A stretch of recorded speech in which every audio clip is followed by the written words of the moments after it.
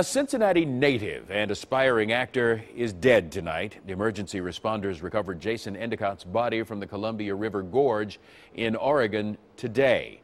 He died after jumping into a shallow pool below a waterfall about 40 miles east of Portland.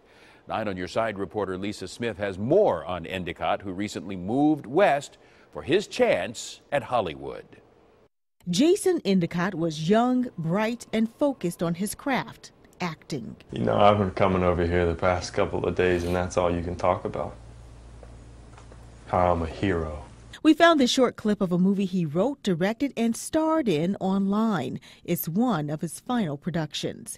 Endicott's body was pulled from the Columbia River Gorge Monday in Oregon. He and some friends were hiking over the weekend and jumped into a popular destination known as Punchbowl Falls. Endicott never resurfaced. You know, trying to fight those strong currents, and if you have any sort of injury, um, it's just going to make it even more difficult to get out of that. Three other hikers were pulled from the waters yesterday suffering from hypothermia. Endicott was found this afternoon. Signs posted in the area warn against jumping into the falls. Meanwhile, Endicott's father told Nine on Your Side his son had a small role in the blockbuster movie Transformers 3. He was in town in April to appear in a play at the Covedale Theater. The two last talked Saturday. His father says he was proud of his son.